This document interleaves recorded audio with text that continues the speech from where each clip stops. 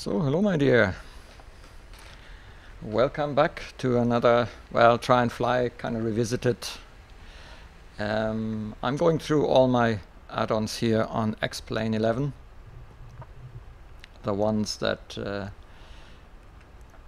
I have partly already tested on my old rig.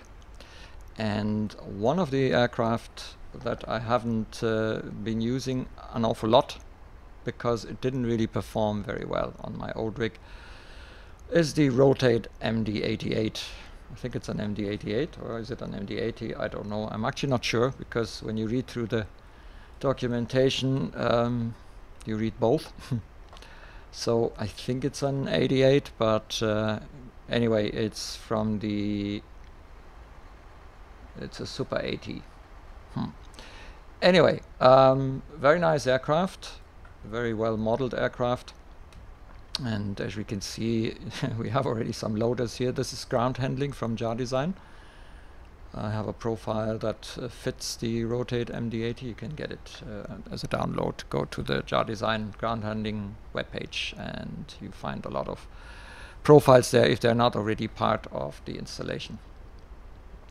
Now, um, I think we should open some doors and for that you go into the cockpit of the MD80, you click here, and you get requests for the GPU, that's a ground power unit, the GPS, I'm not quite sure what S stands for, it's also some ground power thingy. I usually just call the GPU. I need to find out what GPS is exactly for. Then you can open the, oops, no, you can open the door, you can deploy the stairs by the way, you can open the aft door and you can open the cargo doors. So, and this actually allows you to, yeah, have an aircraft that is ready for boarding with doors that open and nice stairs that extend. This door, I think, uh, at least I haven't found a way of opening it yet but all the cargo doors are available and as you can see ground handling fits it nicely. We are at WC Airport, my standard try and fly airport and uh, performance here is very good. I have limited my frames to 40 on my new rig and uh, so far I haven't really seen any issues uh, frame wise so they keep relatively stable at 40 frames per second no surprise though I have a good system I think one of the main issues with the Rotate MD80 on low uh, power systems is the fact that uh, older graphic cards have two or three gigabytes or four gigabytes of uh, VRAM. Now, four gigabytes is probably about the minimum you need to run this aircraft with its 4K textures. And that was my problem. I used to have a 670 with two gigabytes um, which did me a good job for many years, but it just couldn't cope with this aircraft. Uh, therefore, it was never fun flying this. I didn't really use it at all. So, yeah. Now back in my new system, I have absolutely no problem with VRAM, and I have 4K textures. There is a fix for this uh, if you have a low spec system, especially when it's the VRAM that is uh, one of your issues. Get yourself the 2K textures there are sets and liveries with 2K and that will actually solve some of your problems. So it becomes much more uh, usable although it is still quite a strain on the system. Not so on on good uh, performing boxes like this here now. Okay.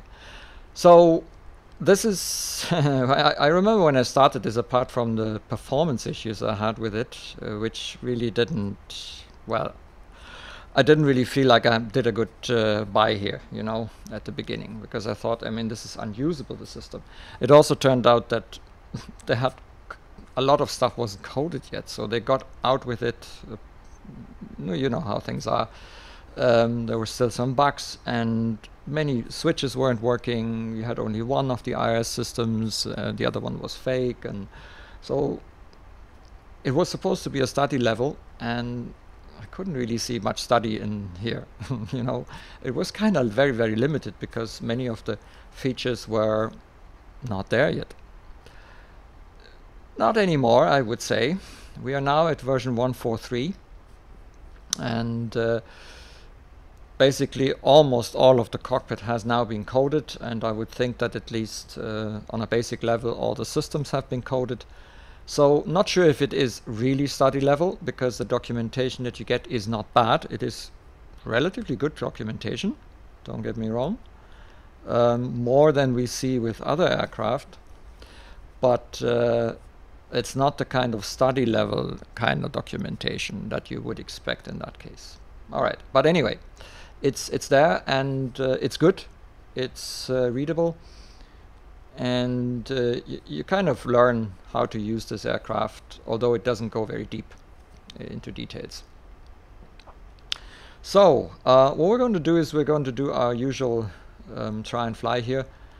Um, I had some issues before with the autopilot and the whole handling. And the other thing is, if we go into the cockpit, look at this. I said this a couple of times. This is the biggest mess I've ever seen in an aircraft. Now, that's not Rotate's fault. I said that before. Uh, it's just the way this aircraft has been designed by McDonnell Douglas, which is just all over the place. it's really, it's, I, when I started using it again, every time I sit in here, if I haven't used an MD-80 for, let's say, one or two months, I keep searching for things again because I can't remember where things are. You really need to do uh, duty in this aircraft regularly in order to kind of get familiarized and find things immediately. As soon as you're out and and you fly Boeing's and Airbuses and stuff like that, you keep forgetting where things are. So I've been looking around and I hope that I'll remember everything uh, relatively immediately. But let's have a look at the, the aircraft as such. So the modeling is actually quite nice. You can see 4K textures. Uh, I use high resolution um, and this really looks good. So uh, a lot of the or most of the switches are now coded. There are still some areas where there is no coding, but that isn't necessarily a problem um, because uh, you can't you can't change the. Okay, but I don't think they are in the way. Um, but most of the important bits and pieces, or all of the important bits and pieces, I guess, they have been coded, and I'm guessing that they are good enough to have fairly realistic operation with this aircraft. Now I have something to compare it with, and that is the released Mad Dog in Prepar3D. So there's the Leonardo Mad Dog uh, Super 80 or MD 80 or whatever it's called. Mad Dog is for the MD, they call that the Mad Dog. Um, and this is also study level and uh, I've actually bought it and I have done my first first very first test flight. It's going to be a try and fly eventually and uh, yeah um, so I'm kind of comparing it and when you compare it with the Mad Dog you realize that uh, it is a slightly less complicated implementation compared to the Leonardo. The Leonardo is, is actually in is more in-depth system depth kind of thing okay but it doesn't mean that this is a bad aircraft. Uh, I think it has everything you need and it allows you to actually do the kind of evening flying once you're familiarized with everything here. So it's not that complicated um, that it takes an awful long time to get used to. But uh, at the beginning when you first time sit in an MD-80 in a cockpit like this, I guess you will have a hard time finding things and uh, getting knowing your way around it and knowing what to do when. And I'm pretty sure that during the course of this um, test flight, I'm pretty sure I'm going to miss out something or have to start looking for it again.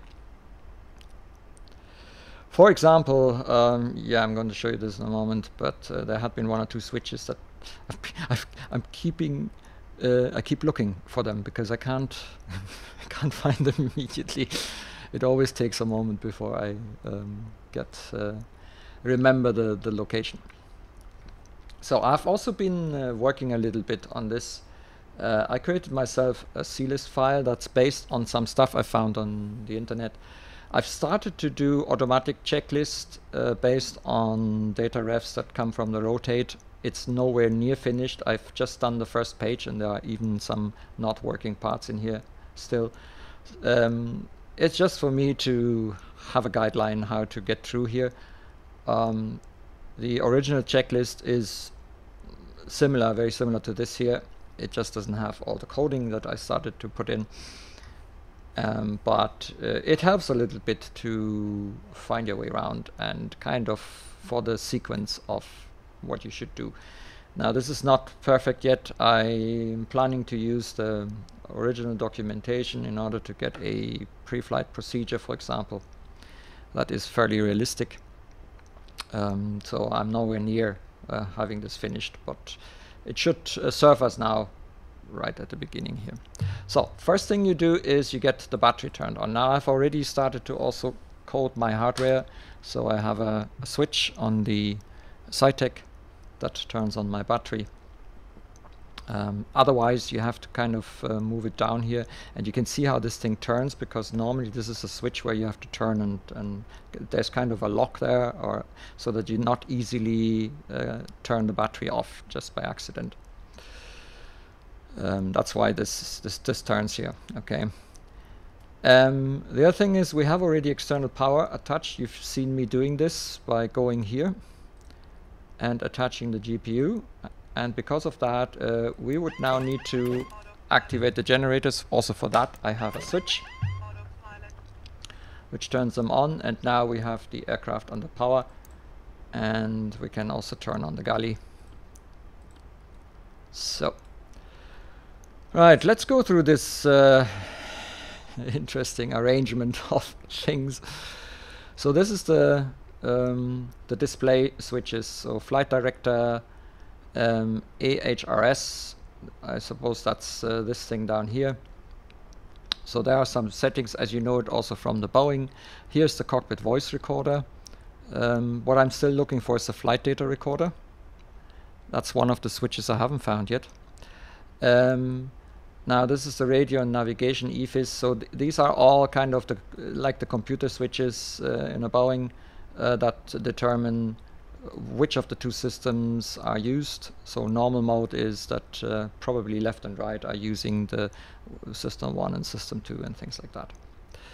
What the engine sync for is exactly for, I don't know, it is coded though, and it is off normally. I guess it would synchronize somehow on the N1 value, I'm guessing. I'm not sure whether or not you use this or what you use this for under what circumstances. This is the windshield, winch wind shear test. But uh, there's nothing much. Oh. Mm. By the way, the sounds are 3D, so uh, depending on where I am in the cockpit, I can actually hear things uh, differently loud.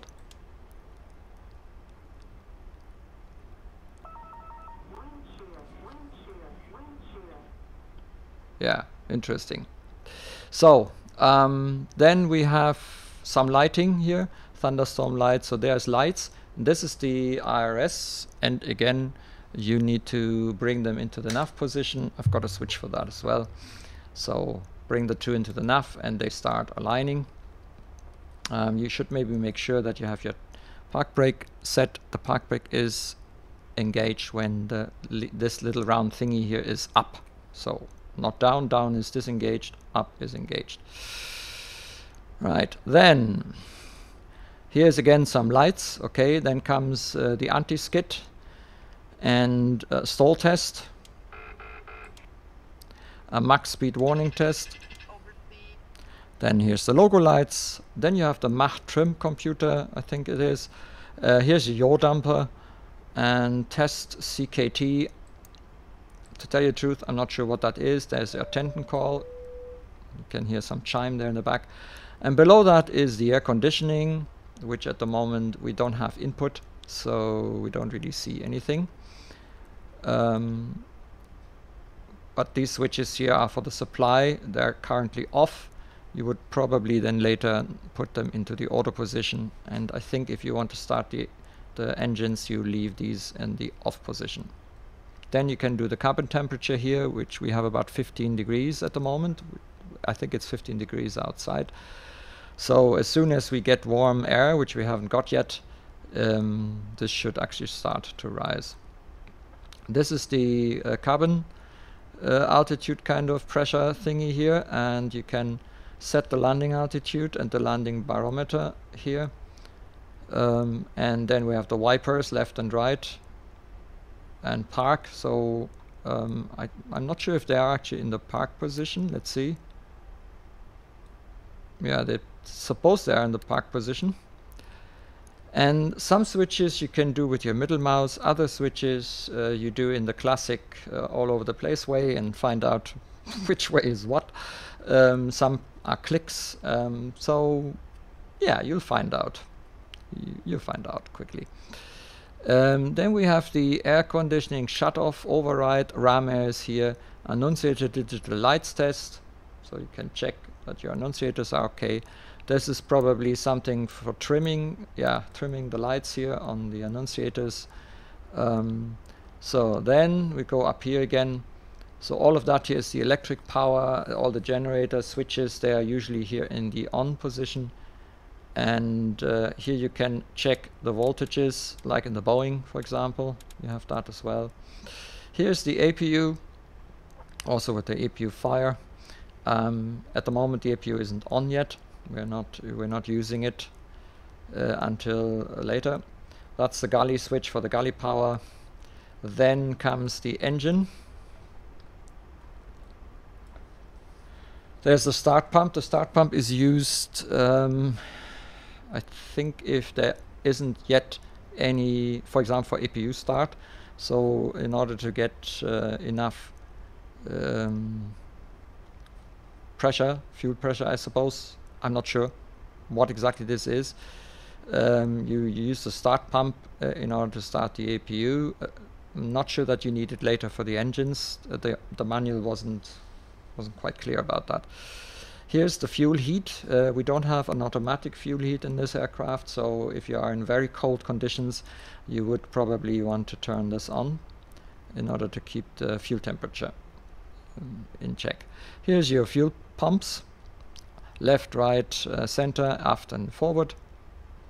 And here's the starters. So you would use these switches to start your engines later on. Then we got the emergency lights, which should be in the arm position here it is. Then we have the seat belts, we turn them on, also the non-smoking, I turn them on. And you can see how th these indications change. By the way, there are several pages, so you can scroll to your... Uh, or you can actually use these switches, because each of these is a type of message. So for example, engine relate, uh, nee, that's not, that's, where was the engine? Engine related is here, for example. This is ice related, so the pitot is still off. And this is uh, electric, for example. And then there are also some lamps here, yellow and red. So at the moment we have rudder travel um, unrestricted or something. Okay. Then what you need to do here, this is the ice protection pitot. So you put this in the captain's position and that kind of activates the pitot, I think, as far as I understand. Um, airfoil, anti-ice, windshield, anti-fog. Um, you can turn this on. I've got a switch for that. This is the engine anti-ice. We don't need it today. And uh, I'm not sure what this thing does. Tail. So yeah, that's a quick run. And here you have all these warnings. And the idea is that in the end, before you take off, you don't have any of the lights on. That's the goal. Right, let's continue. So we do have oxygen, but there's nothing that you can do here with it. This is the kind of radio and audio panel. Um, then this is the steering tiller with a parking brake. And then when you look here, this is for your navigation display down here. Let's put these away. By the way, in order to see something, you need to turn these fellas on. They're always off when you start the aircraft. Here you can switch between modes. I've put this on a um, on a hardware as well, which I haven't started yet. So uh, let me quickly do that. I keep forgetting. It's the VRI. I have the um, MCP combo here of VRInsight. So and then you can switch through the different modes here in the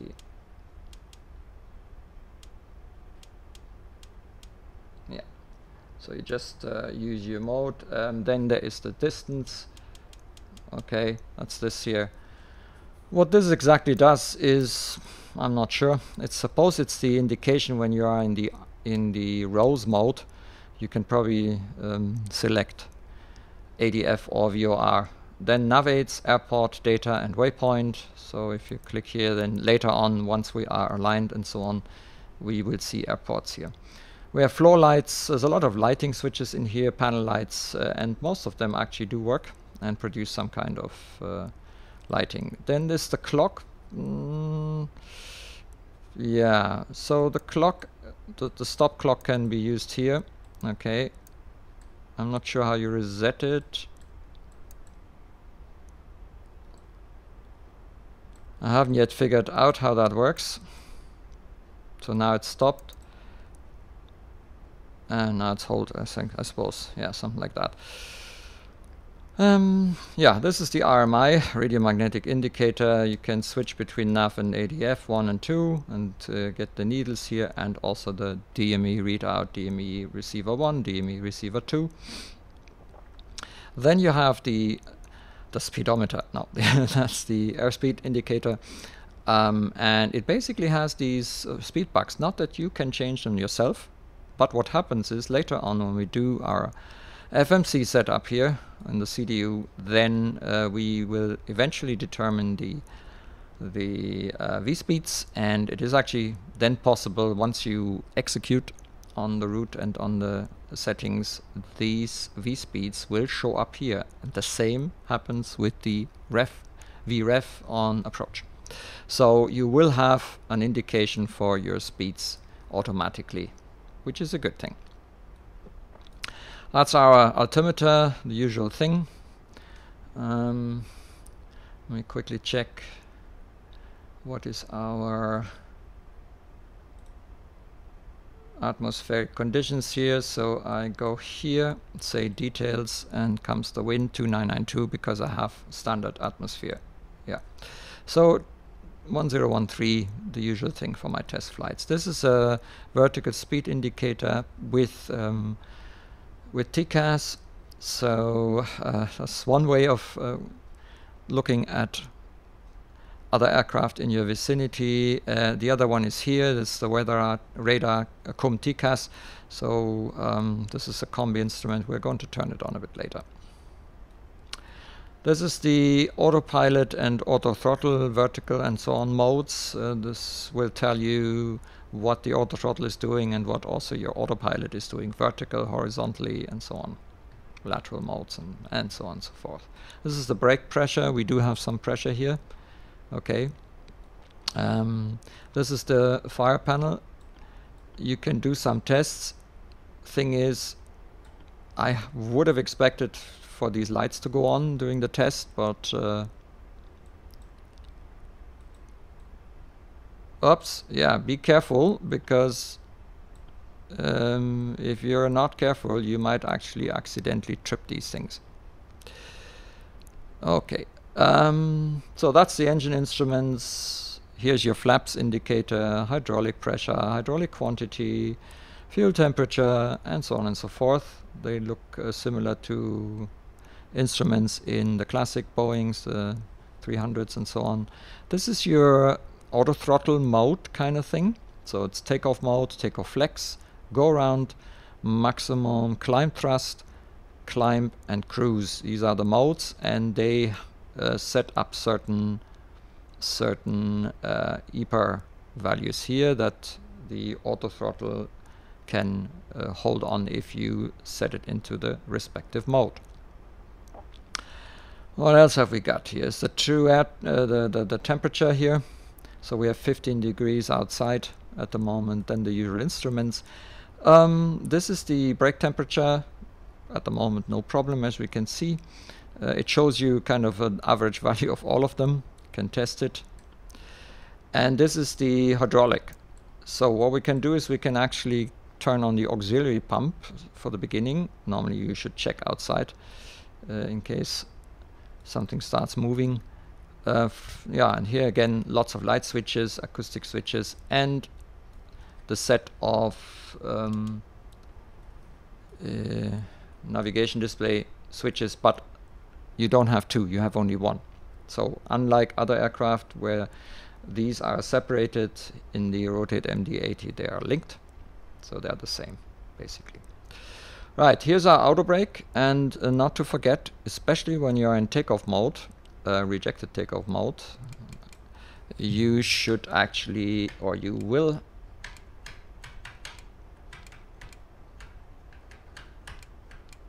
Okay.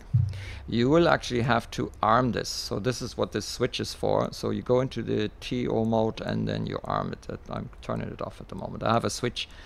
It doesn't seem to be quite right. This is the pneumatic uh, switches or whatever they're called. They are important. If you don't turn them on, you will not get your engine started because this is the kind of uh, pressured air that uh, would be used to get your engine started. So in order to get anything happening up here in the air section, you need to have uh, these fellas put up. I'm going to do this in a moment when we get closer to engine start. That's the usual thing here. Um, COM1, COM2, ADF, and transponder, the usual stuff. At the moment it's in off mode. Here's your uh, throttle levers and flaps, speed brake, so flaps here, speed brake here. Uh, you arm the speed brake by bringing it up and down. Okay, and here is the, the trim computer or whatever that is called. So this is a an interesting little unit. Um, when we know how heavy we are, what our CG is, and with what flaps we want to take off, we can dial this in. It will show us the what's called the long trim, and then we are going to make sure that the trim setting, so this thing, matches then this here. Since we haven't calculated our route yet, we'll not touch this for the moment. Um, so this is the speed brake. I showed you that already until extended. That's a Radhütkont man. Uh, I'm not quite sure what that is. Something with the rudder, hydraulic contin con. Not sure what that is. I'm not an expert. I'm not a pilot anyway. This is the gear horn. You you will get this at some times because uh, there are certain conditions where it thinks you should have your gear out. Uh, in order to turn off the alarm, you would press on this button. Um, again, an alternative long trim. Uh, we are not using this today. This is uh, basically to switch the fuel on for your engines. And here's also another thing. Here you can select a dial a flap kind of thing for your takeoff. Uh, we're going to do this in a moment and you then um, bring your uh, flap lever into a particular position and uh, I think that's for the slats and the flaps. Um, what I'm not sure is what extends what, um, but I show you how I understand that you need to set this up before takeoff and then everything is okay and it works okay.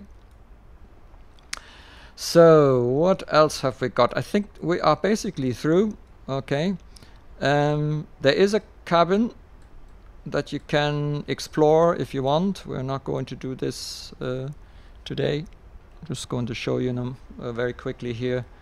So this is the cabin. It's actually quite well built. And if you have the 4K textures, if your system can um, do it properly, uh, it actually looks quite nice. So you have a pretty large cabin here. So let's close that door again. Right, okay, that's the introduction. By the way, you can open the window. No, you can't open the windows. That was in the Leonardo. Okay. Maybe door? Maybe you can? Maybe you can't. Can you? Can you not? Hmm, doesn't look like it. No. Whatever that arrow is, uh, it's not working. Okay. Right, so let's go and do the FMC stuff. For that, first of all, you need to use this switch here to make it bright, because it always comes dark. Uh, press delete, press clear, because otherwise you're getting a uh, problem with your wrist, clicking those characters away with the clear key. We are in an MD88. Um, I have a pretty recent AIRAC because I updated the Navigraph. We are in version, oh, we are not in 4.3, we are in version 1.41R3, but it is the current version. Uh, I guess I need to change my headline. Too late now. Position init. Um, yeah, and you basically take this, put this in here, give the reference airport Echo Delta Lima Victor in our case, right? The gate is basically one. I'm not sure if it this is actually working here. It is not. Okay. Um, there aren't also any any other pages, uh, GPS pages or something. So take it from here, put it in here, um, and that should do. That's the center of the airport. That's why this is slightly different to 8.9. Go to the route. Now this is pretty much similar to what you used in the Boeing uh, um, CDU. So um, since we're flying back to our to the same airport, Echo Delta Lima Victor. The flight is uh, revisited 1. the runway we're going to leave from is the runway 27 and since our route is actually coming directly from the departure to the arrival. There's the runway 27 Sony 3 Sierra. Whoever watches my videos more often knows this one here. And we also go to the arrival. And as we can see it nicely works. Not every aircraft can do this. We had uh, examples where this wouldn't work. Having the same airport to come back to I'm not going to use LAA but we're going to have it in the route uh, anyway so um, let's go to the legs page 210.1.4 SONAP fine SOP2. So I'm going to close this by just clicking on it and I'm also going to take remat because we want, don't want LAA. Put that in here. And I also put in 2600 at remat because my experience is that 3000 um, will give me a problem, very often a problem with the glide slope intercept. Right, and uh, that's it, that's our route. This part is the go around route back to LAA and then probably into a hold or something. Yeah, hold that. There it says activate, execute. And what we can do now is, um, unfortunately you can't bring out the displays and I haven't yet been able to program that little tool that I have, this uh, texture thingy. Uh, so at the moment I don't have uh, these displays for pop out. Um, but we can already see that the route looks almost okay. There seems to be a discontinuity I have overlooked. Oops, wrong.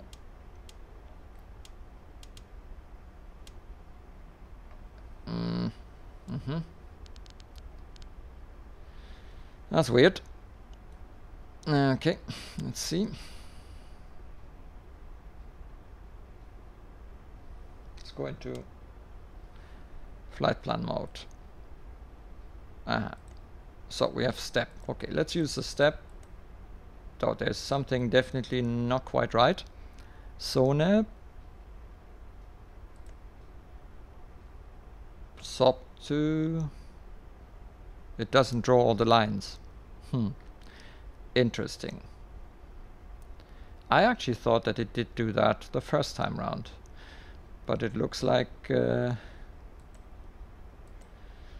oh, that's going to be an interesting flight. I wonder what that will look like when we're done. So maybe this repairs itself later on, but so far I would say we have a problem here. It doesn't look right. I was pretty sure that that worked the first time around, but maybe I'm getting old. Maybe. I don't know. Anyway, let's let's get surprised. so I go back to the route. Um, so to uh, hang on, have we got maybe? Okay, let's check this again. So the departure is the Sony 3 Sierra. So SONAP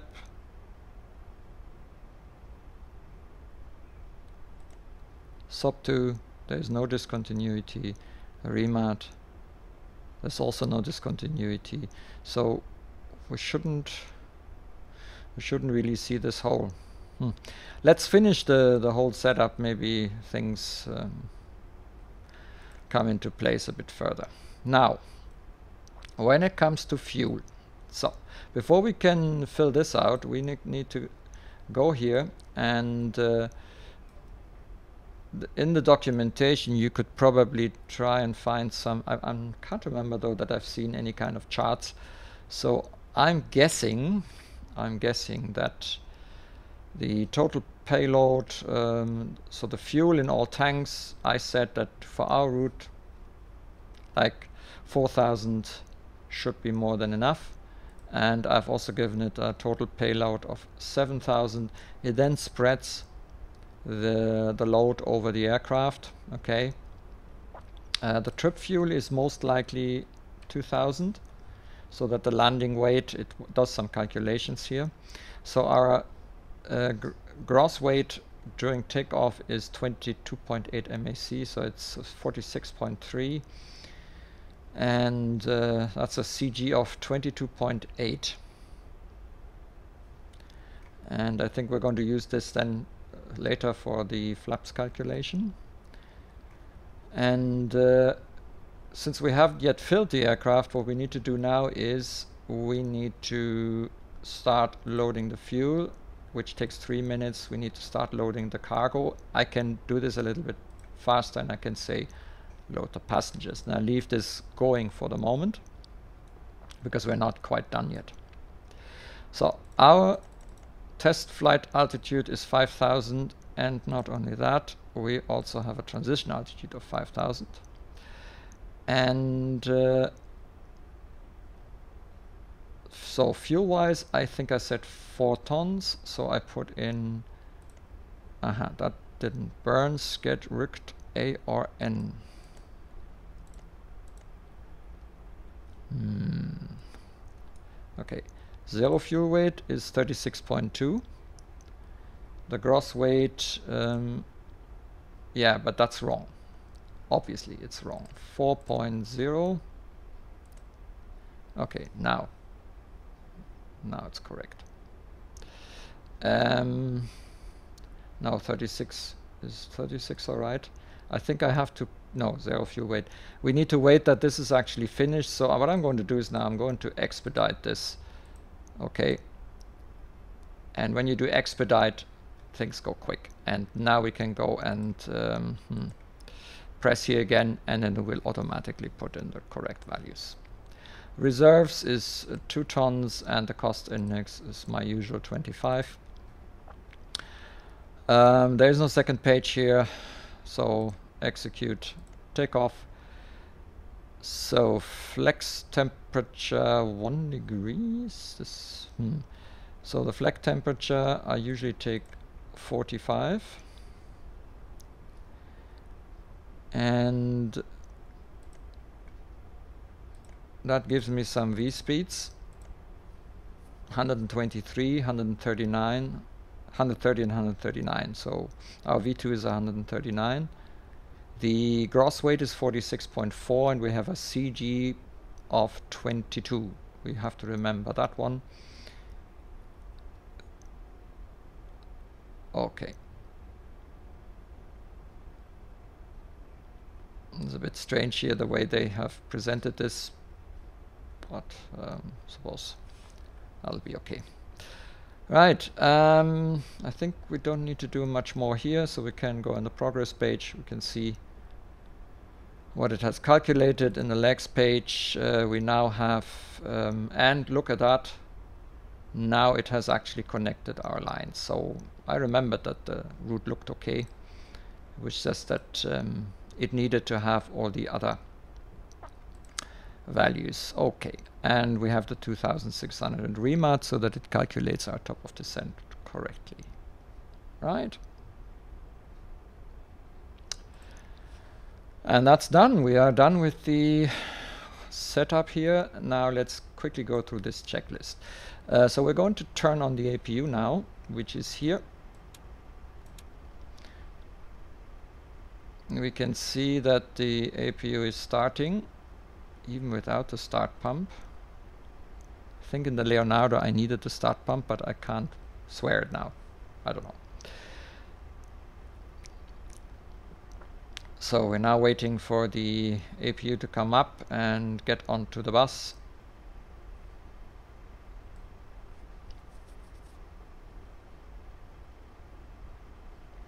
And once that's happened, we can turn off the uh, ground power unit. There's actually a, a, third place also in the CDU.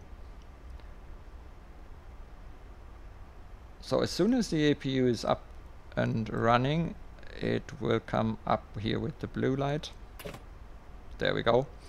And because I have already these uh, generator switches in the on position, it has now taken precedence over the external power. That's why these lights are blue. I'm going to turn on the APU air bleed and I'm going to check the pneumatic pressure. Uh, hang on, there's something missing. I told you. Zack, zack. And now you can probably hear it already. So we have now air. Okay, you can see this here as well. So we can turn off the um, go to the menu page and we go to aircraft main management. And here we press on GPU on. And we can also close the door. So this is another oh I think I'm opening them now. That's not what I wanted. Let's quickly check. Uh, close. Close. Close retract.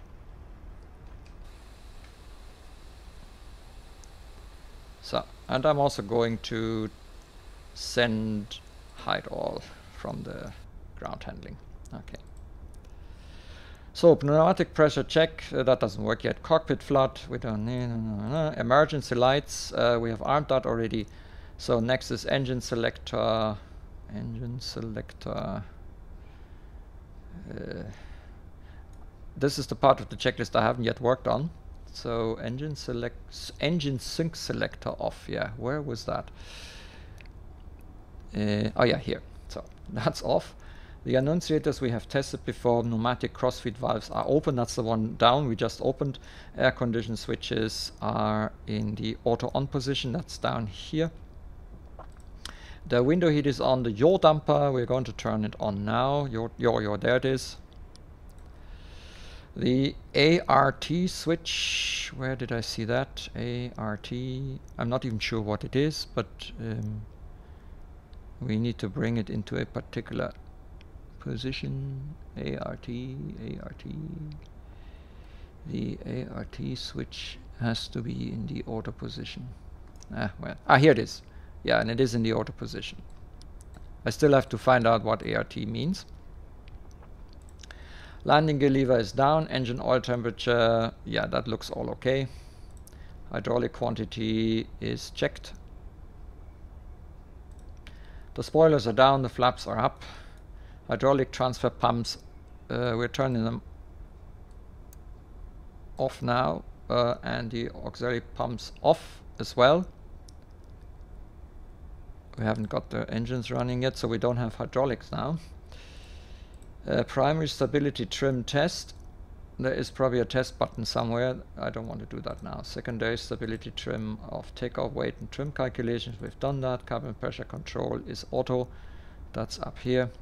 It's in the auto position. Fuel shut-off levers are cut off. That's down here. And the throttle levers are throttle levers forward. Stall warning test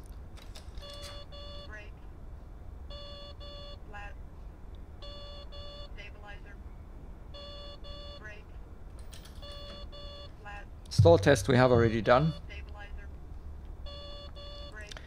Max speed warning we've done as well. Engine fire test we've tried, but it didn't really work that well. That's the loop A and the loop B, but somehow this doesn't do anything. I don't think that's right. Aircraft weight and fuel check. Uh, master caution checked and clear. Yeah, we don't have any. And the transponder is in the standby position. Not yet, but uh, now. The parking brake is set, thrust levers are idle, APU air is on, pneumatic crossfeed levers open, we've done that. Pneumatic pressure, we've checked it, aircon supply switch. The aircon supply switch is aircon supply switch is probably somewhere up here. Ah, here, off. The doors closed. Uh, yep. The fuel pumps. So we need to turn them fuel pumps on now.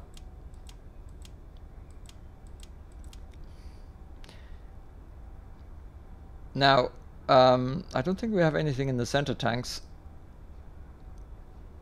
So I am not quite sure if I am supposed to turn on this pump. Start pumps switch off. That's this, so it's off now. Position lights. So the position lights, the lights are here, and the position light is actually this switch. Now I have coded this with the strobe, and the thing is, the middle position is the position lights, down position is the strobe lights. But the strobe lights only come on after takeoff. So as soon as we lift off, uh, the strobes will actually start to work. That's what I understand. Therefore, I coded it that uh, I turn it on into the strobe position, but the position lights go on when you do so. As you can see, they are on now. But there is no strobes. Oh, I can see we still have the stairs out. Let's bring them in. Retract. So, position lights are on, anti-collision lights, uh, they're here. Uh, hard to see. There, there's the switch and you turn it on. That's the beacon. Pushback clearance uh, received, parking brake, uh, we need to turn that off. And we request a pushback. So, what we can try is see if good old BetterPushback works. Yeah, it still has the position. Ground to cockpit. Plan acknowledged. Call me through the menu when you're ready. I am ready. Please do come. Ground to cockpit. Toes driving up.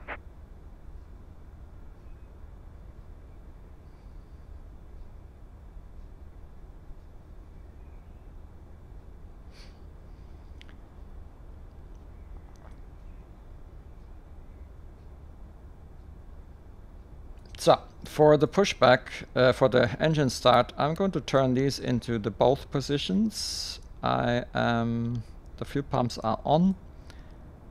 And we need to turn off the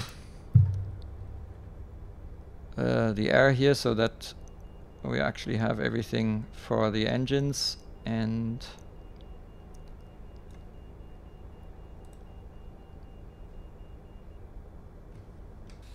Okay, all doors and hatches are closed, ready to connect, set, parking brake. Parking brake is set.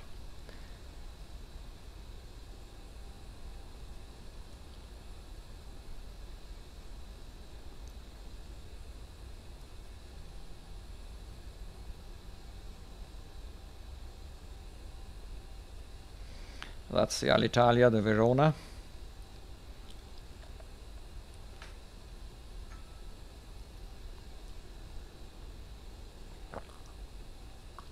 there are a number of um, liveries that you get, and uh, Alitalia is one of them. Obviously, this is not a modern aircraft, and, and there aren't that many flying anymore.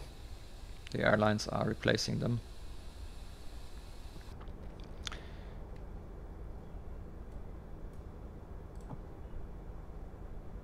Starting pushback, and the engines. Okay, engine igniter system A or B. Oh, I've got it on both, so let's use B. And the engine right, so we start with the right engine And if everything is okay, this switch will stay down here. It does. Very good. And now you can see this coming up here and as far as I understand when this reaches around 10 you open the fuel. Like now.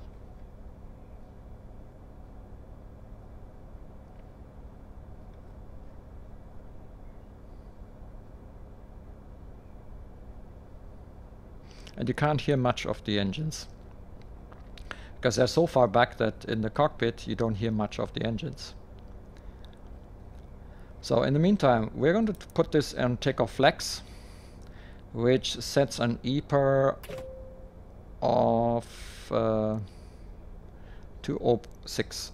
Yeah, so that's going to be our takeoff. Operation complete. Please set parking brake. The parking brake is set. Disconnecting tow. Stand by. And we're going to start the other engine. So I'm turning this off, I'm bringing this back, I'm opening this one, and we're starting the other engine. Oh yeah, and the other thing is, the CG we said was 22, so we move this to the 22 position. We want to take off with flaps 15. Um, let me quickly check, have we actually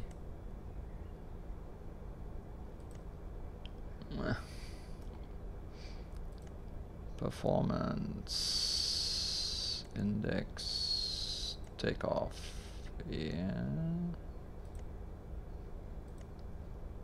Okay, I think yeah we've defined everything. Okay. Legs. Um, so we bring this in the 15 and it calculates 4 as the long trim. And what I'm going to do now is, danke, I'm going to bring down I have uh, some keys for that. Or you could do this here. That's the other possibility. You bring this down and you bring this to 4.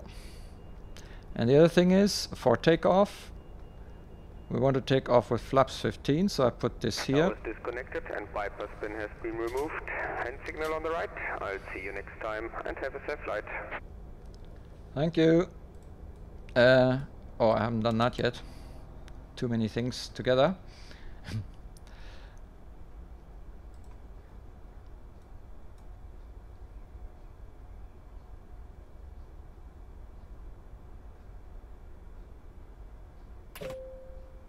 so that's the second engine. You can hear this uh, ting. This is when the when the buses are switched. Oil pressure looks okay engine igniters. We're now going to turn them off. So first I turn this off, start switch, then I turn this off. And uh, now we can also turn off the APU. We activate the air supply. And uh, the anti-collision light. So, igniters off, yeah. APU bus on, remain on.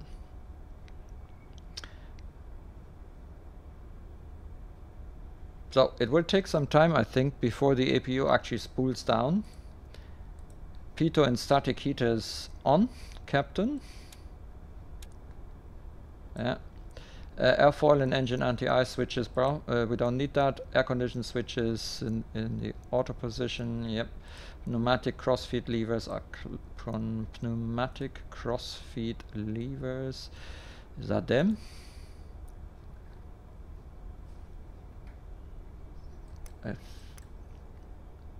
off hydraulic pumps uh, we need to have them on now into the low position or possibly the high position I don't know hydraulic system check and check engine hydraulic pump switches are on check. Okay, then we've got the flaps out and you can see that it just turned off the disac. So, um, so basically have moved and they're now in the takeoff position. So it recognizes this by showing you this blue T and O for takeoff. Right, so we're basically ready for taxiing. Taxi clearance received, nose lights, that's are those here. We turn them on. The TRP thrust rating panel as required, that's this thing here, so I've put it on the flex and it has used the temperature we've provided here and the EPA word the ART reserve thrust as required. We don't need this. Flight controls. Um, for that we need to bring back the, So okay looks pretty uh, sensitive we shall see okay Flight controls are checked. Hydraulic auxiliary pumps on. Transfer pumps on. So we turn these two fellas down here on again. Flaps and slats are set. Elevator trim is set. Radar switch. Um, the radar switch. Where is that radar switch? I know that... Um, not sure if if that is meant or what the radar switch is. To be honest, um, I haven't seen it yet.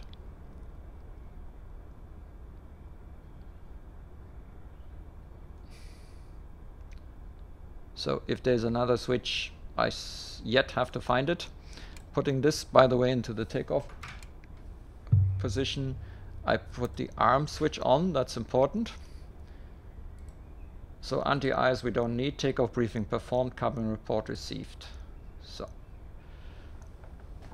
I'm releasing and let's start with the taxiing.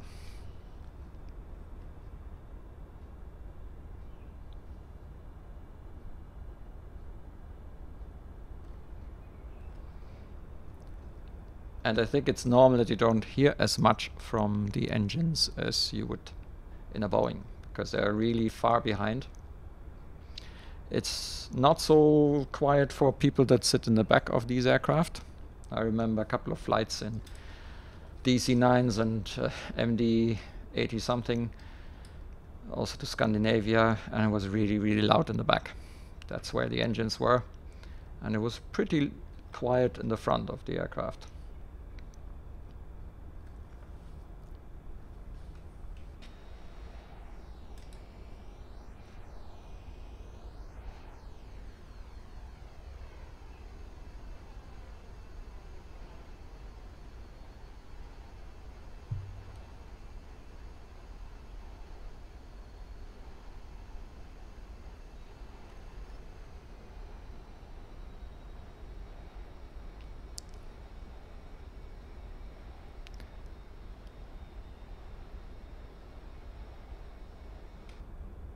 So roughly where the screw is, not quite so like this here. This is basically, I think we are pretty much in the middle. Let's check, not quite.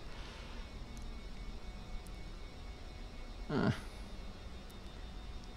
Okay, ah yeah, at the end of the wiper. So the end of the wiper is is roughly when you're on the middle line, just for orientation. That's in my view, the way I have put up the view now. You need to find this out yourself. So I'm going to set up the MCP. So 272 is the heading.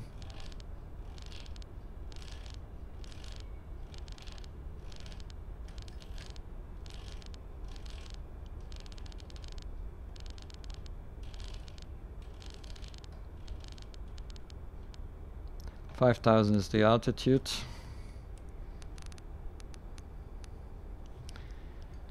And uh, what have we set is the V speed. Let's go down here again. Let's go to the route takeoff. 139 and I'm actually putting on 139 plus 10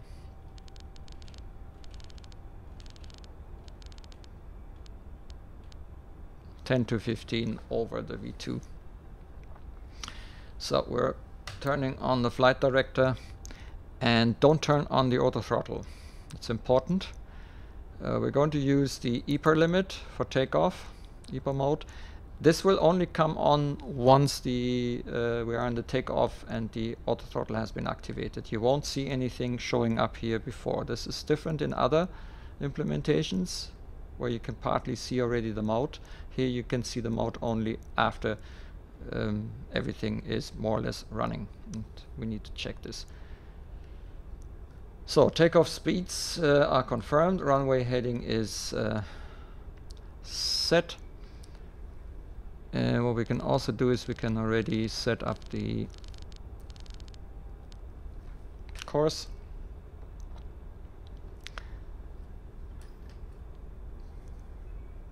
Takeoff clearance departure. Okay, so.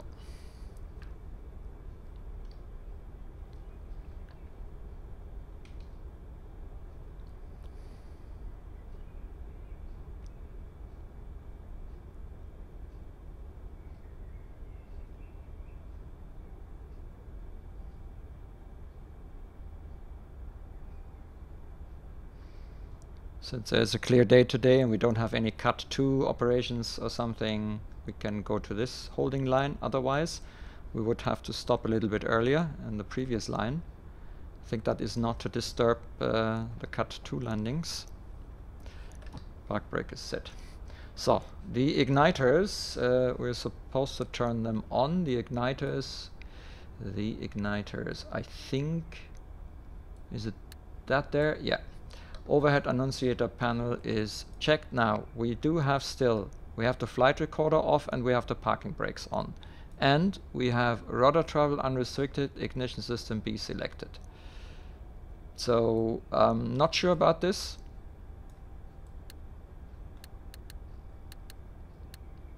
Yeah. I'm not sure if the checklist is correct here. Um, overhead annunciator panel. Now, the flight recorder, I haven't yet found where to turn this fella on. And the light will actually go out once we are airborne. So, not sure how accurate that is, right? Uh, engine wing anti-ice is off. Blank bank angle 15 degrees. That's uh, probably here somewhere. Bank angle 15 degrees, really? Can't remember that you can set this somewhere. Maybe that comes from the wrong RT switch auto. The so the ART switch is uh, where was that again? The ART switch is where is that ART switch? Oh yeah, here. Yeah, it is in the auto position, isn't it? Yeah, yeah, it's in the auto position. TRP thrust rating is takeoff. In our case, it's takeoff flex toga buttons and throttles press. So you press these buttons and what you can see now is that it has got up some orange which is something that it wants to achieve. Um, to tell you the truth, I'm not sure what this something 50s not sure what that means but we've done it uh, check tack off tack off checked FMA Ah yeah, they probably mean track because that is an R, not an A. Uh, so that is track off, track off, okay. Fuel balance is, um, yeah, it's checked. Where's our fuel? 15 first temperature. Uh, hang on, where? Ah, here. No, that's the fuel flow. Fuel flow, no, no. Where's fuel? Uh, good question and to fuel flow use where is the tanks? Oh here. Yeah it's it's roughly. Okay we had some fuel used by the APU spoilers uh, we have to put them up armed. Stabilizer trim is set. The auto brake is in the RTO landing lights so we're going to turn the landing lights on now that's these here. Um, then the strobes, we're going to have them on. The taxi lights, we turn that one off now. Then the transponder is goes into the XPDR mode, basically in here. Timer, um, the timer, where was it? So we'll suppose we'll just start it like this. Bird strike caution check, chronometer start, parking brake off, and let's line up.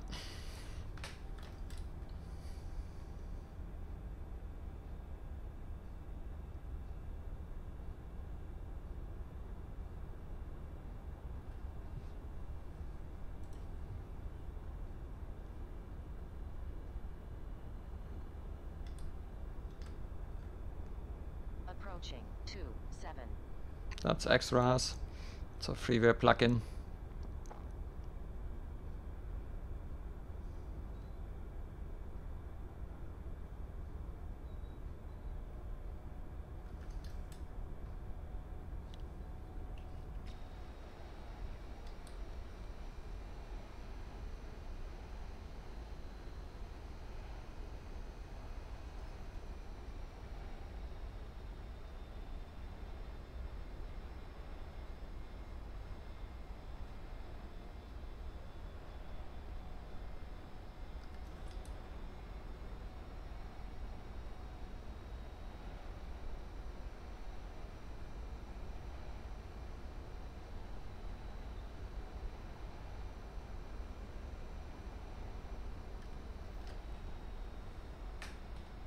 Okay, that's good enough.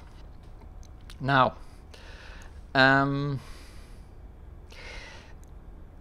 so be careful. Don't engage your auto throttle anywhere else than on the runway when you're ready.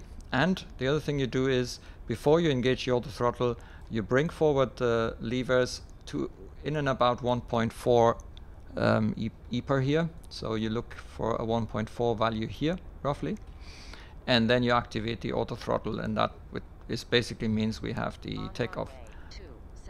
We have the takeoff power set.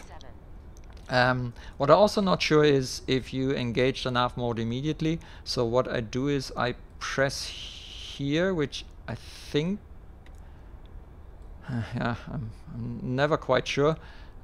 Um, because we've we've set up a heading here okay and then there's this switch and I think it should enable the heading mode once we turn on the autopilot.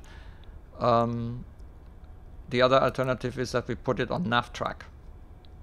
So NavTrack is basically FMS at the moment and we can also put this on VNAV later but at the moment we are going to use the auto throttle EPR mode and then we can probably change this to VNAV later on.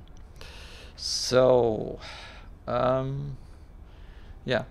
So I'm now bringing forward the levers.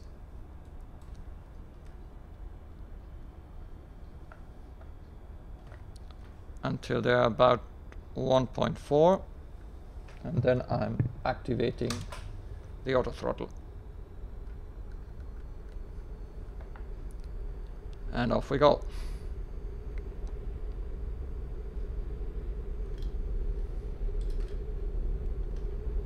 Hmm.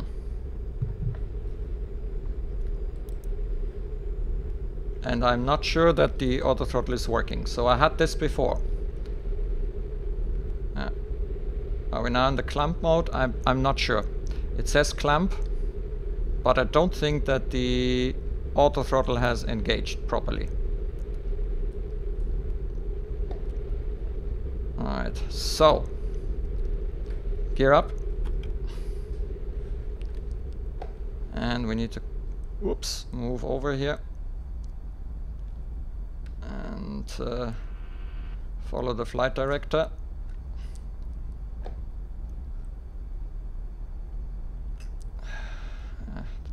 Have difficulties steering because this is rather sensitive. And we are accelerating far too much because the auto throttle isn't working. So I'm now putting this into VNAV mode and I'm activating the autopilot and I bring back the flaps because we are far too fast already. So that didn't work out well.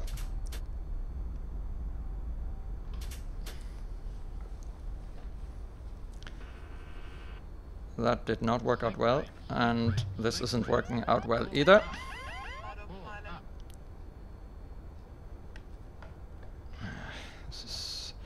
yeah, this aircraft, I tend to have this kind of nonsense going on, and I'm not always sure why that is. So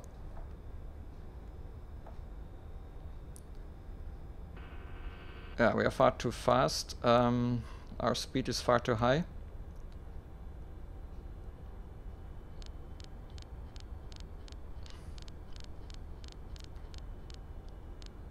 So this went completely wrong.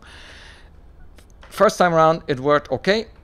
This time I knew that something is not quite right because it just didn't didn't show me the right things. Um, I'm not sure. Now, let's see. Hmm. So next waypoint is Lima Victor 204. Think I need to possibly, oh no, it is already showing the right one. So I'm going to try, well enough wise we are okay. And I think I'm going to leave it now in speed mode here. Because the auto throttle gives me a lot of trouble. Basically every single time I have something wrong, but the last takeoff I did was actually quite okay, and this time it is messed completely up. So this is something that I haven't yet, I don't feel comfortable with in this aircraft yet. Not sure what I'm doing wrong or if this is just the way it is at the moment. I don't know. It is different to the Leonardo. So the Leonardo reacted differently. yeah.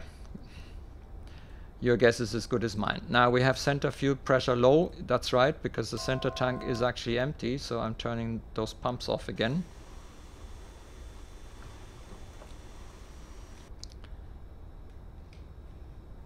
Hmm.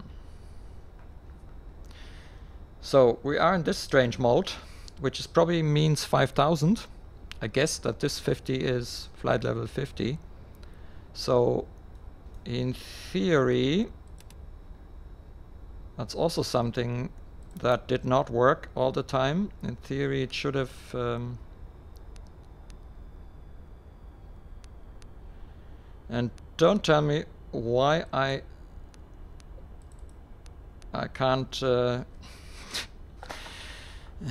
I don't get rid of the 100. That's also something I haven't yet quite figured out. Aha, okay, now. Somehow you need to grab it somewhere else and then, but it's very hard to find the right click spot here. So it didn't stop at 5000. I had an idea because uh, it didn't show the uh, the right thing here. So we're now in altitude hold mode. Okay, and we are in 5100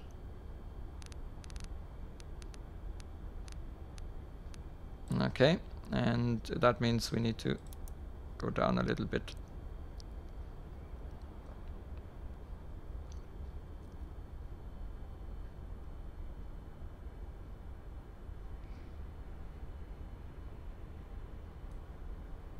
Okay. Right so yeah that was unfortunate.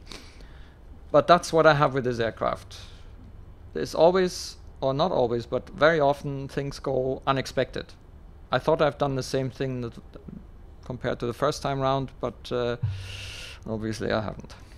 So something was wrong. Alright, auto brake uh, is off. No, it actually isn't really off, but um, now it's off. Uh, TRP climb, that's this thing here, so we put this now in the climb position. But since we're not using the EPR, um, so we have undergone the altitude, so obviously I'm doing something wrong here again. I forgot probably to press this button. Okay, let's do it the other way around we're going to reach 5000 one way or the other. So basically this indication means 5000, but um, it didn't stop as we can as we saw. It didn't stop. So auxiliary and uh, transfer pumps we can switch off now. It's over here. And the center fuel times are already off. So altimeters are okay, we are in standard atmosphere anyway Um, aircraft and engine performance monitor, landing lights above 10,000. And the cruise is the radar check, continual checks, continual checks, aircraft and engine performance. So next is the descent checklist. But there we need to wait. Now, this is one of the aircraft, whoops, when we look down here, that does not go, I think this one, oh no, actually it goes all the way, yeah, that's right. So it goes all the way. I think it was uh, another aircraft I tested recently that cut short again.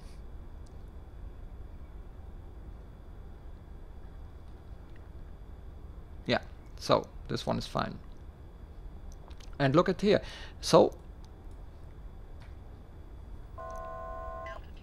why am I not stopping at 5000? What the hell is wrong here?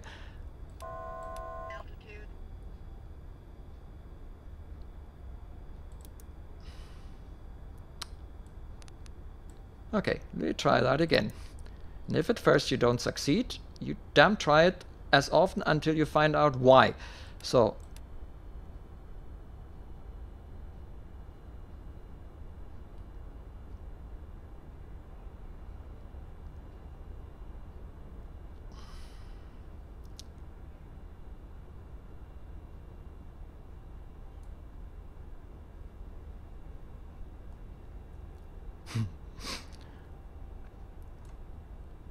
and nope.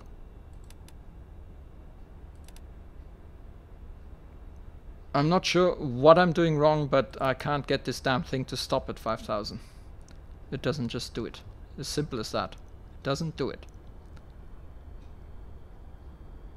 There isn't that much I can do different here, you know. I thought that this is the arm mode.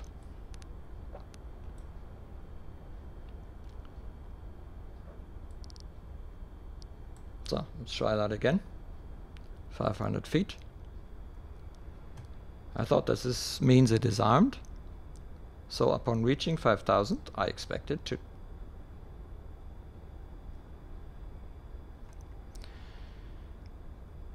No. Okay, so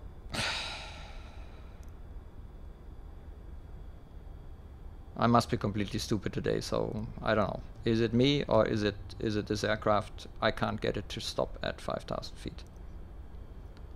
I was pretty sure that that should work, but um, I'm not sure now. I'm a bit confused.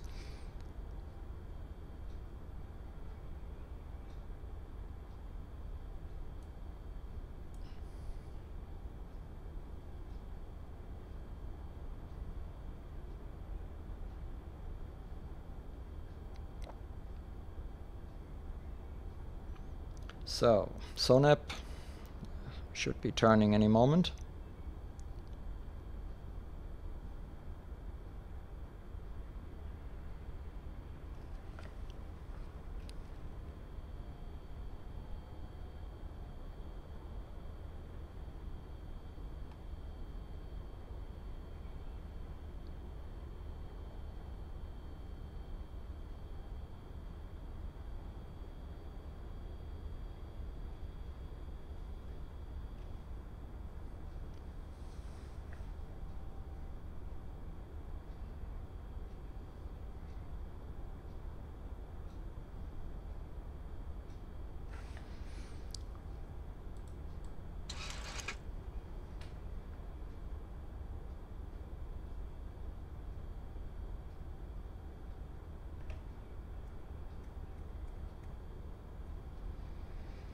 Okay, so um, let's see if we can get back into VNAV mode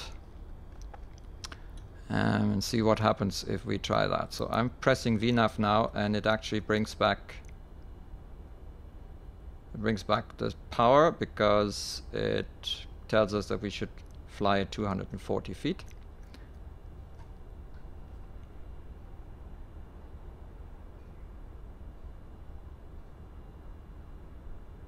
And in theory we should have stopped but now it, it, I don't know I am I stupid or what I mean why why is this thing descending there is no reason for it to descend 5,000 is the blimmin' altitude.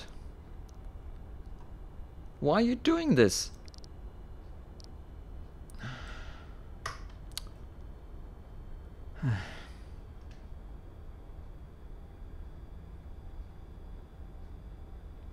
So this is vertical speed, now I'm putting VNAV descent. So it wants already to descend or what? Why would you want to do that? It's far too early for that. Well, let's see what it does then. If it wants to descend. So mode is now VNAV descent, nav track, 2600 FMS speed.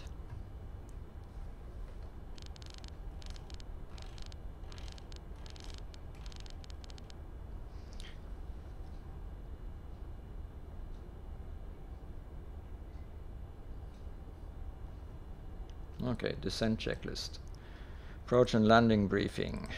Yeah, um, actually,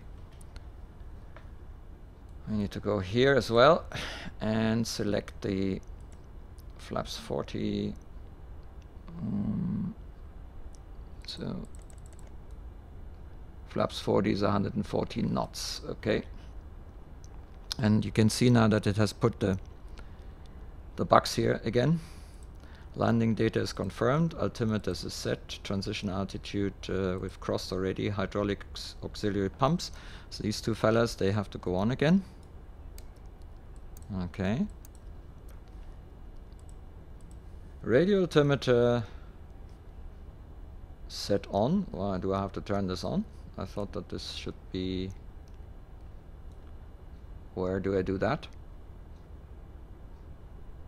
Radio altimeter set on audio markers uh, uh, maybe maybe not in this because I can't remember seeing this actually here.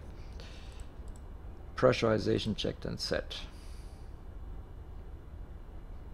So the nav radios we've set already this is the DME this is the ILS and the landing lights uh, are still on. We haven't turned them off. The fuel pumps are on. Yeah. VREF speeds we have checked already 147 um, and the altimeter and bugs set and cross checked.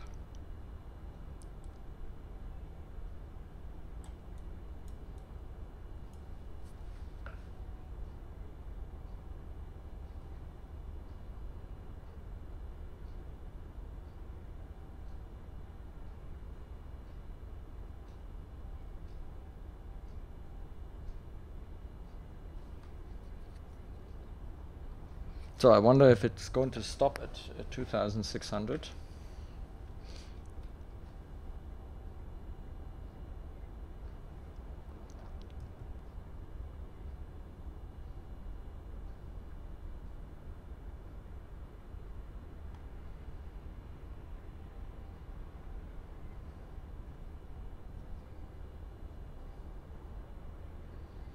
I mean, we're we're down far too early. Uh, for me, this is a bit too early.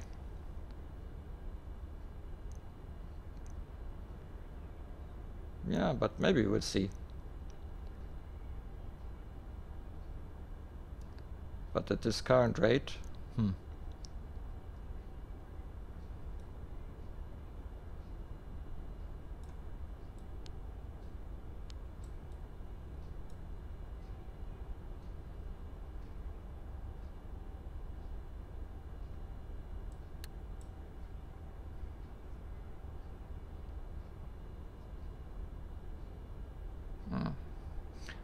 Going to be at 2600 far too early.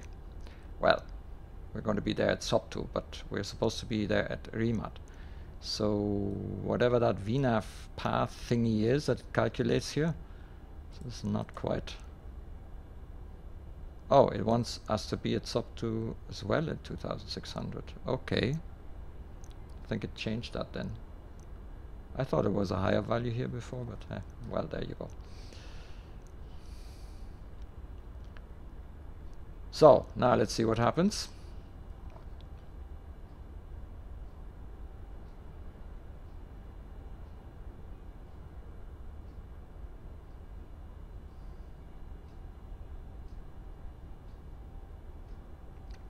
It should level off. Does it level off? It does not level off, right? No. Oh, yes, it does. A little bit late, but uh it leveled off. Well then.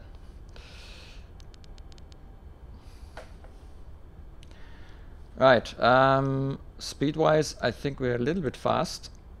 So 240 at Remat is far too fast, so I'm going to switch into speed mode and I'm going to reduce to 220.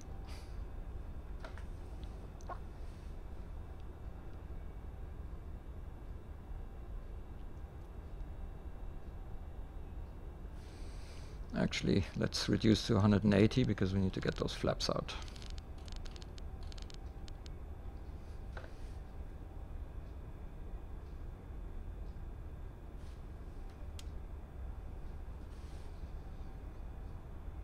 Need to try and get these displays brought out. Aha. So this this seems to be the radar altitude. Yeah, it is.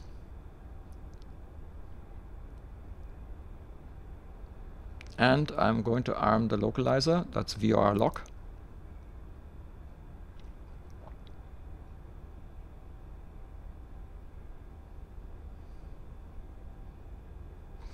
One one ten decimal seven, okay.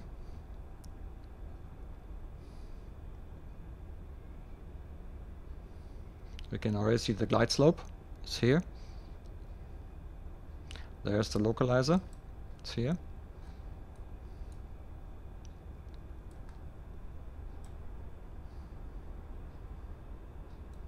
So I'm going to arm the speed brake.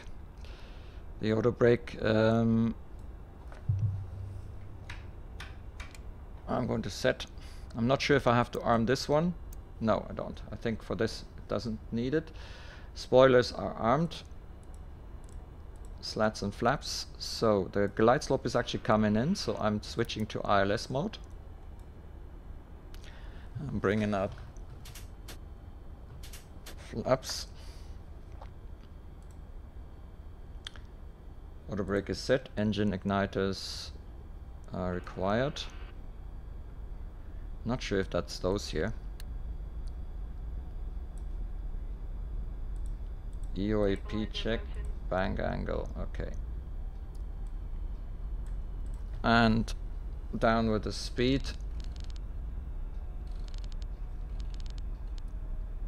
Two hundred and forty-five. Next stage of flaps, gear out.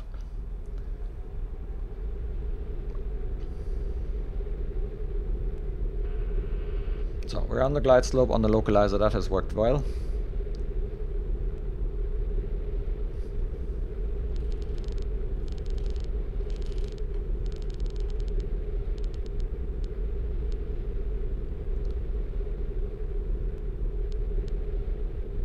Okay, and we're going to set altitude 3000. We'll go around.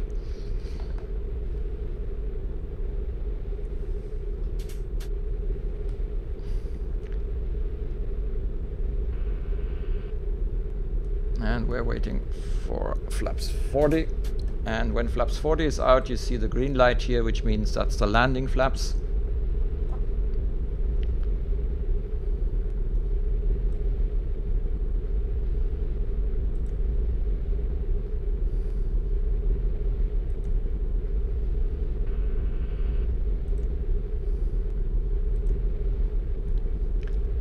Hundred and fourteen knots, so let's go down a bit.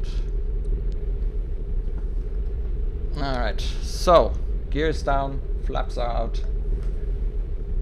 Everything is fine. Now I'm going to try and uh, bring my throttle levers roughly in the position and then I'm going to try and turn the auto throttle off. Now these switches don't really work so I'm switching it off with the main switch. All the throttles are off and the autopilot is off.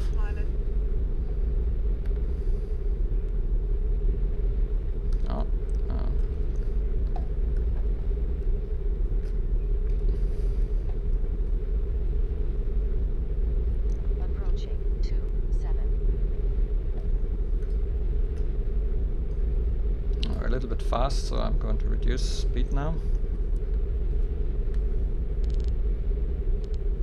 Ah, we're a bit, we're a bit very fast, yeah. Oops. Oh, and it's very sensitive. The the controls are very sensitive. It's one of those aircraft where small, very small movements cause an awful lot of reaction. So, 200.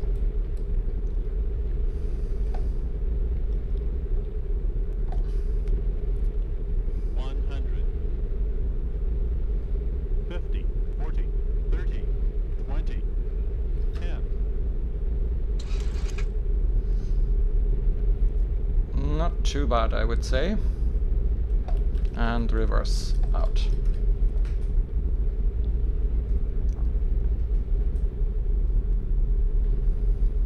I have external instruments, that's why we can do this here in this view. For me this is actually very good because I see much better. Reverses in. And I can still see how fast I am and uh, my altitude and all that. Altitude and so on. Okay, manual braking.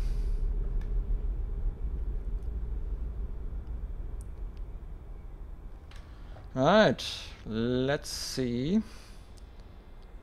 how that will look in the replay.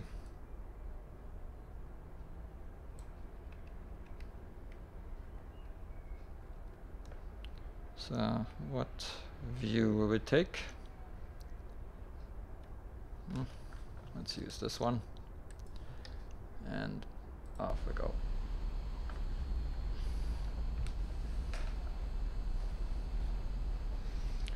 Hmm, Are we a little bit far?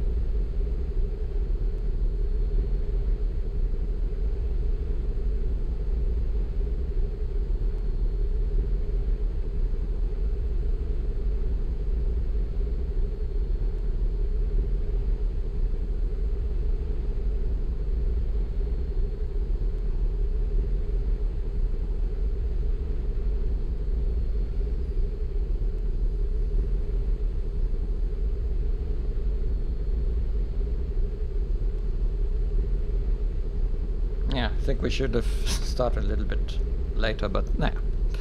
We're almost there now. Now you can see where I took over. and uh, yeah, I got a little bit rocky there because uh, yeah, I had to get used to, you know, very small movements on my yoke. So I might have to write myself another script here for this one, which Ew. Which kind of um, dampens down the reactions of the yoke to make it a bit more realistic. But I got it under control then, in time.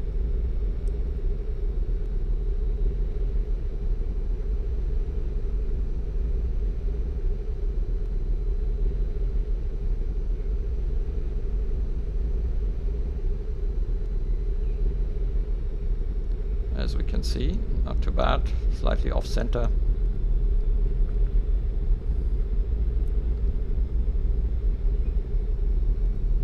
That's when the auto brake engaged and the reverses and the speed brakes.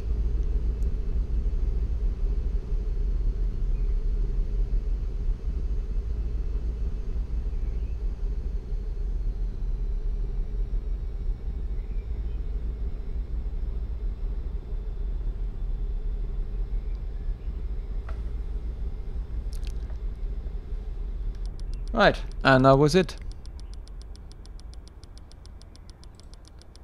So let's turn off the replay mode. Oops. Okay, let's bring it out of this mode again. Let's bring in the flaps. Alright. So the Rotate MD-80, it is a very nice plane. Um, it takes some time to get used to it, definitely. This is not the kind of aircraft that you can easily kind of climb in and then everything is easy peasy and, and so on. I still have to find out why I don't stop at my altitude when I'm in vertical speed mode. Maybe that is intended. Not sure about that, but uh, could be. Maybe I have forgotten something. I don't know. But uh, apart from that little issue, so far it went quite well. All the all the modes uh, worked out so far. The route was flown correctly, and uh, yeah, the sensitivity on the yoke. That's something I need to correct for myself to make it a bit easier. Um, so, but apart from that, nice aircraft, and uh, in the meantime, definitely worthwhile. But again, you do need a decent system and especially you need a decent graphic card. You need minimum of 4 gigabytes of RAM. Ideally you have more because this aircraft will take it out. It will need it. Um, you can use the 2K textures, but obviously then things don't look as nice as they do with 4K textures, obviously. Okay, so that's it. Thanks for watching, and I hope that was somewhat helpful. Um, until next time.